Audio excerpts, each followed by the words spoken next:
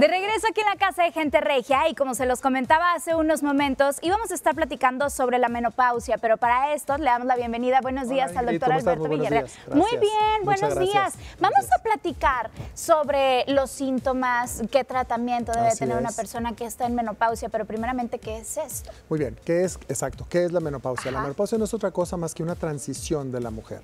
La mujer tiene varias etapas, ¿no? Pasa de ser niña a adolescente, de adolescente a mujer, toda su vida reproductiva o vida sexual activa cuando puede ser reproductiva, es decir, puede embarazarse. Y luego viene esa etapa en la que los, los ovarios dejan de producir hormonas adecuadas, que se dejan de ovular, y empieza a haber todos estos cambios que es la menopausia. Para esto es importante recalcar esto, esto no es el fin del mundo, esto no es de que se acabó la vida, dejé de ser mujer, dejé de ser esposa, dejé de ser amante, no, no, no, no, no, es simplemente una transición, es un cambio a una vida mejor, a lo que viene, a lo que viene después de, ¿no? Claro que la transición es difícil, es un poquito difícil, es un poquito dura por todos los trastornos que esto conlleva, ¿no?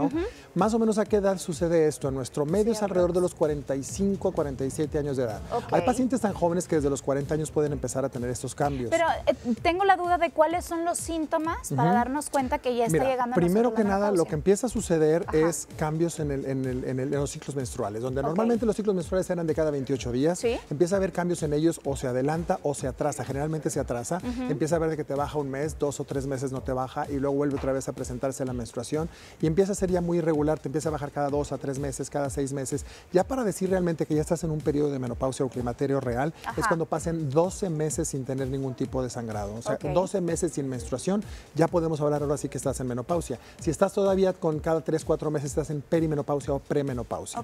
Aunado a esto, a los, cambios, a los cambios en el sangrado, hay pacientes que no tienen matriz y obviamente no se dan cuenta porque no hay ciclos. Entonces empieza a haber ciertos trastornos como cuáles. Los más comunes es el, famoso ese bochorno, ¿no? hay ciertas hormonas que se empiezan a elevar, que el cerebro empieza a decirle al ovario, ponte a trabajar, y empieza a elevar una hormona como para forzarlo a trabajar, pero el ovario ya, ya se jubiló, por decirlo así. Entonces, esta, hormona tan alta es la que produce que tengas esos bochornos tan intensos. Son bochornos que aparecen en cuestión de segundos.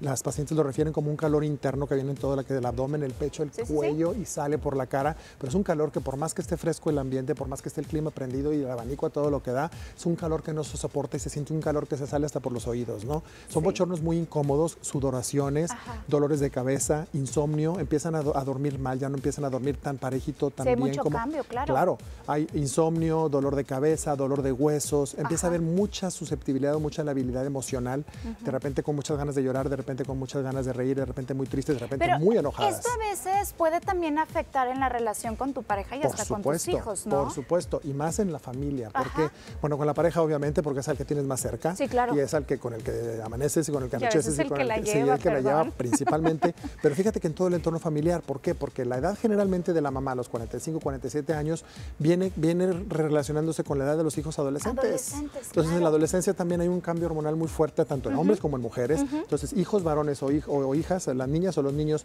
con una mamá que está cruzando por la menopausia es un boom donde todo prácticamente empieza a haber una situación eh, em, emocional muy fuerte y el marido quiere salir corriendo por la ventana, ¿no? O sea, pero, no quiere ni llegar pero, a casa. Pero no se preocupe porque también hay ciertos tratamientos. Por supuesto.